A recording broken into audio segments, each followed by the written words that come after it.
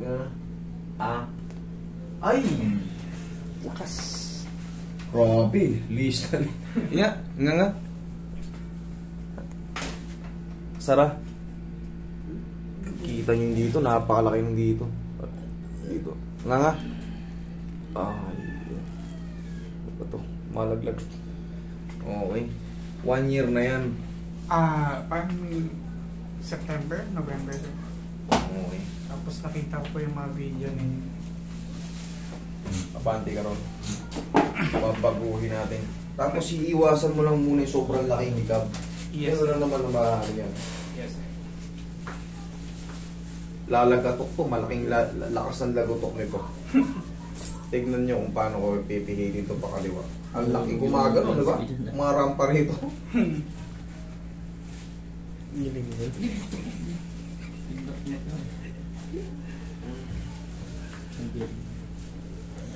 Okay nga nga. Sarap. Ang lakas.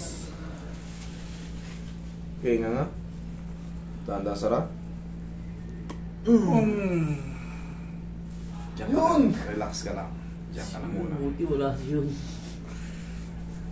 Huwag mo yung nga nga nga. Diyan ka lang muna. Hayaan mo lang munang yakapin yung readjustment. Ang lakas nun. Reviewin mo mamaya yung ano mo, video mo. ramdam na ramdam mo yun. Yan, huwag ka lang munang, ma- hayaan mo munang kumalma yung mga naiinat dito, dati noon. hmm. Grabe yung ano mo eh. Iiwasan mo lang muna sir yung sobrang laki nga kasi puma, bumalik na ngayon yan. Kasi pag in-overstretch mo rin yan, lumalabas siya.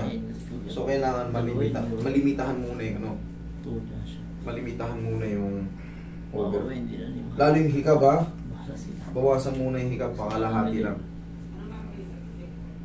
Siguro mong tanong.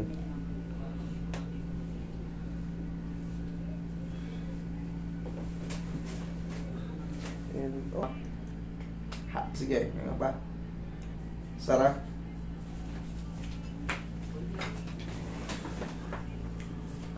Hap. Tiga sama. Ha. Sara. Sara. Yan.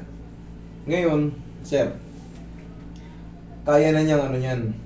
Kumbaga, yung mabilis na siya makapasok dun sa may ano, sa position niya sa loob.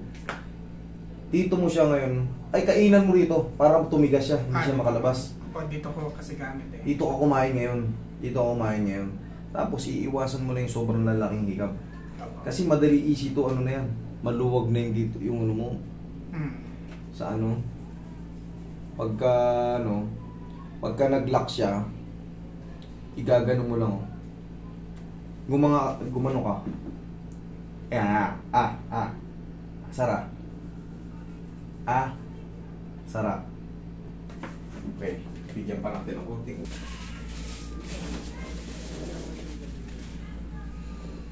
Okay nga nga. Dahan-dahan, Sara. Yan, oh. Mm. Mm. Sara. May, tu- may tuturok naman ang sagat. Okay, sir. Ang pinakagagawin mo lang, sir, is dito mo lang nguyaan na ng nguyaan. Okay? Sige po. Thank you so much. Thank you.